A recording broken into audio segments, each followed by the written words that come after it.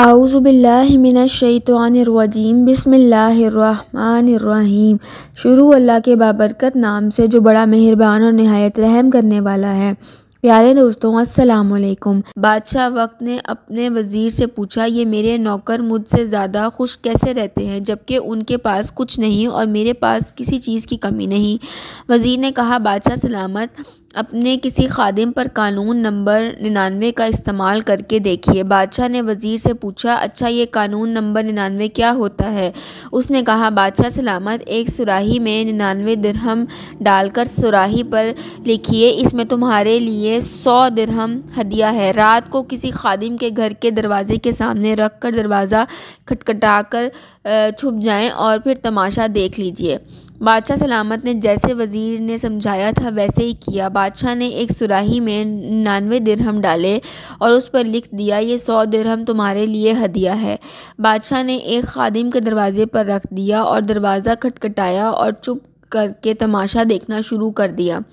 अंदर से खादिम निकला, सुराही उठाई और घर चला गया। दिरहम गिने तो निन्यानवे निकले, जबकि सुराही पर लिखा हुआ था कि सौ दिरहम। सोचा यकीनन एक दिरहम कहीं बाहर गुम हो गया होगा।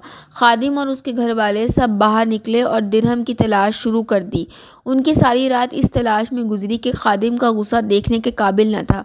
कुछ रात सब्र और बाकी की रात बक बक और चुक चुक में गुजार दी। खादिम ने अपनी बीवी, बच्चों को सुस्त भी कहा क्योंकि वो दिरहम तलाश करने में नाकाम रहे थे। दूसरे दिन ये मुलाजिम महल में काम करने के लिए गया तो उसका मिजाज मुकदल आँखों से चुकराते काम से झुंझलाहट शक्ल पर अफसरदगी आया थी।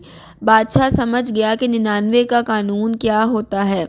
लोग इन निन्यानवे नेमतों को भूल जाते हैं जो तबारक ताली ने उन्हें अता फ़रमाई होती हैं और सारी ज़िंदगी इस एक नेमत के हसूल में सरगर्द रहते हैं कि गुज़र देते हैं जो उन्हें मिली नहीं होती। और ये वाली नेमत भी अल्लाह ताला की किसी हिकमत की वजह से रुकी हुई होती है। इसे अता कर देना अल्लाह के लिए बड़ा काम नहीं हुआ करता। मेरे अज़ीज़ लोगों, अपनी एक नेमत के लिए सरगर्दा रहकर अपने पास जो मौजूद निन्यानवे नेमतों के लज्जतों से महरूम होते हैं, अपनी निन्यानवे नेमतों पर अल्लाह तबारक ताली का एहसान माने और उनसे मुस्तफ़ होकर शुक्र अदा कीजिए। अल्लाह हमें अपना शुक्रगुजार बंदा बनना, बना दे। अल्लाह पाक हम सबको समझने और नेक अमाल करने की तोफ़ी अता फ़रमाए। आमीन या रब्बुल आलमीन।